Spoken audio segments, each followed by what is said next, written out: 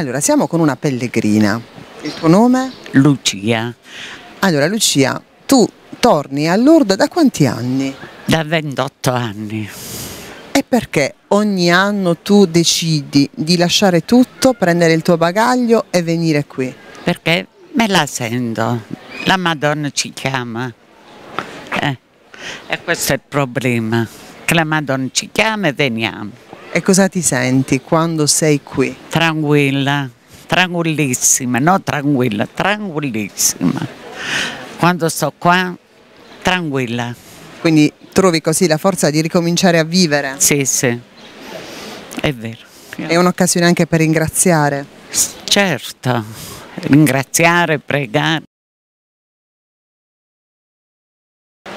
Siamo con Claudia Belforte, una giovane donna che ha deciso di eh, intraprendere questo cammino già eri militante nell'Unitalsi, ma adesso eh, pressi il, tu- il tuo lavoro attivamente, operativamente, il tuo servizio nel servizio civile. Allora, tu eh, da quanto tempo sei qui a Lourdes Qui a Lourdes da più o meno circa tre settimane, e ci resterai per... per un anno. Ecco. Si spera di poter continuare questa esperienza fino alla fine. Allora, innanzitutto perché, come mai hai deciso di eh, partecipare a questo progetto? Principalmente perché eh, cioè, so- sono un'italiana e da un'italiana dico sempre che Lourdes è casa. Quindi, quindi perché Lourdes? Perché Lourdes è il centro e il fulcro di tutta l'Unitalsi e di ciò che gira intorno all'Unitalsi. Quindi è un po' come stare a casa. Ho già fatto un'esperienza all'estero, ma qui è totalmente diverso perché non mi sento di essere all'estero o magari è, è casa. Allora, questa esperienza sono tre settimane, già sta dando i suoi frutti, credo. Allora, puoi raccontarci le emozioni che vivi, cosa ti fa sentire di aver scelto la cosa giusta?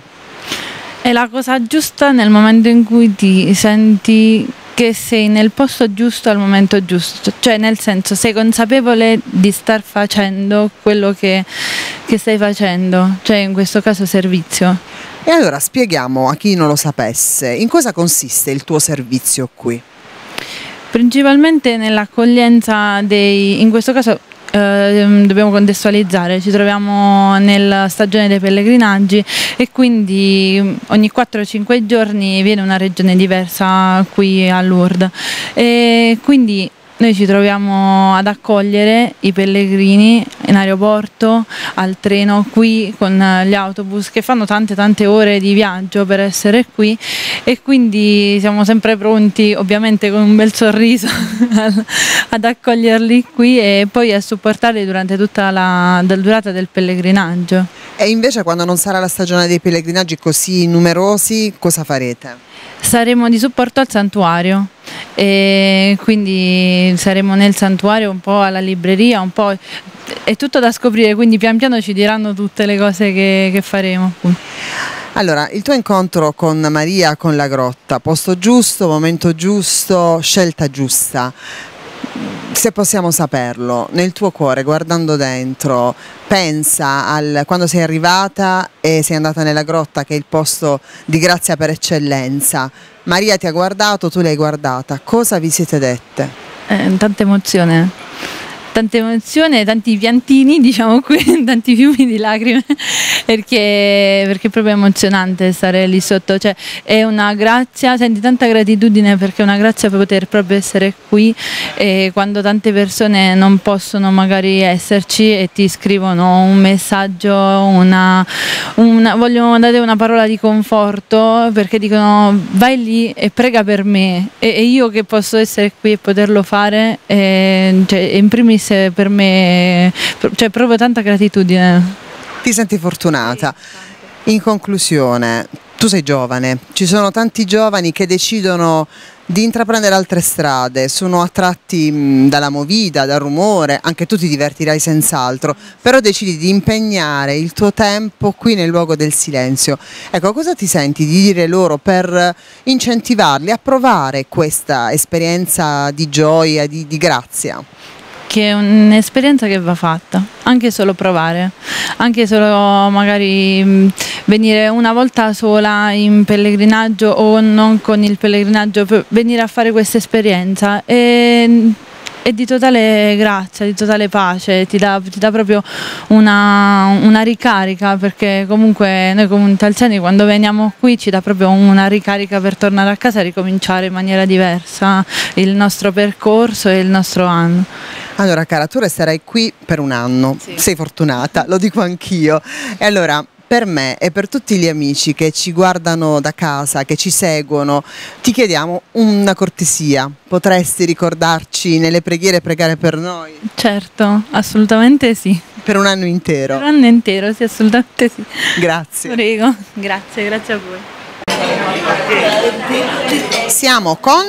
La matua dolorata. Ah, signora, prima che le dessi il microfono stava dicendo tante belle cose, mi, me lo dica al microfono. E niente, voglio dire che questo viaggio, che questo pellegrinaggio che, siamo, che abbiamo fatto è quart la quarta volta che vengo e sono super contenta, sono felice perché le giornate sono meravigliose, sto vedendo cose che prima non le avevo visto, sono bravi volontari che mi portano con la carrozzina, mi fanno vedere tante cose, sono felicissima. Auguro a tutti quelli che mi stanno ascoltando che anche loro faranno questo pellegrinaggio bellissimo. Cosa vogliamo dire di questi volontari? Come sono? Sono bravi, sono sempre pronti, quando li chiami ti ascoltano, ti spostano a portare a vedere le cose che c'è da vedere. Poi non ne parliamo della cucina, sono bravissimi tutti. C'è una mia amica Maria che è il cuore mio. sono Federica, Calla, voglio ringraziare tutti i ragazzi che ho conosciuto quest'anno, ma sono 18 anni che 18 pellegrinaggi che faccio a Lourdes e sono emozionatissima perché sono, sono, sono felice di, di, essere in questa grande famiglia. Grazie a tutti, grazie, grazie di vero cuore. Grazie. Allora voglio sapere, ma cosa si è mangiato oggi? È stato buono? È buono? Sì, è buono. Ho mangiato il tortellino alla panna, e è sta- sì, sì, sì, era buono. Io mi chiamo Giuseppe dell'Unitassi, sono 15 anni che sto nell'Unitassi di Barletta e faccio un piccolo aiuto è ammalato. Bravo, bravo. Siamo con Angela Carnevale, referente giovani della Puglia dell'Unitalsi. Allora, ti vediamo con eh, i tuoi arnesi del lavoro. Allora abbiamo il grembiule, l'abbiamo fermata così come stava passando, come stava prestando il suo servizio con eh, il piatto, ci scusiamo per il disturbo, per la nostra intrusione. Oggi siamo venuti a visitare eh, la mensa mh, mm, al Salus dove appunto voi vi, mh, mm, vi occupate con amore dei fratelli ammalati, bisognosi nel corpo e soprattutto appunto eh, da date loro una parola di conforto, li aiutate. Ecco.